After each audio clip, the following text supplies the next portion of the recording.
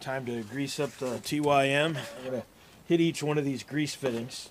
Uh, we got several on the loader and some on the tractor. We want to make sure that everything's lubed up the way that it should be. Simple. You just take these, push that in on the grease fitting, and this here you just hold it down.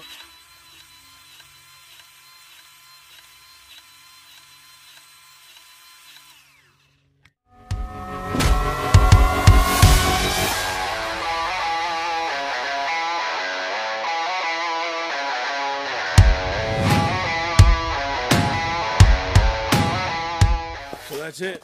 Uh, change a couple of filters and change the oil and uh, hydraulic fluid in that. So that'll be in another video.